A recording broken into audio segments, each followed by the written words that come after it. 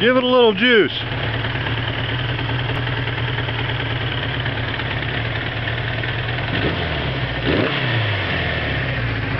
Now the exhaust.